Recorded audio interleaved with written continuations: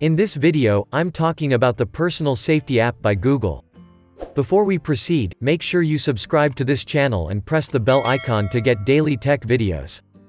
Let's get started. This app is currently exclusive to Pixel devices and if you have one, you can get it directly from the Play Store. The app opens up to this page where you get alerts and updates. From the app settings, you can add your emergency information. Starting with medication information and then emergency contacts. The third option is to make this information visible from the lock screen in the emergency menu. Then there are crisis alerts, which you can enable to get notified about natural disasters and public emergencies in your area. To get crisis updates, you have to permit the app to access the device location in the background. Now coming back to the main screen, here you get two options, Safety Check, and Emergency Sharing. You can use the Safety Check feature in doubtful situations.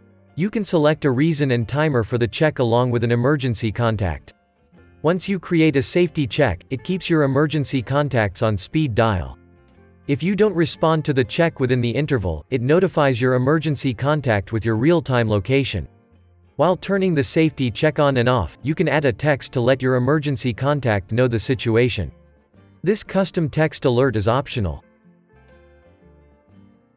Now, coming to emergency sharing, this is rather simple, it broadcasts your real-time location to your emergency contact for up to 24 hours and keeps your emergency contacts on speed dial.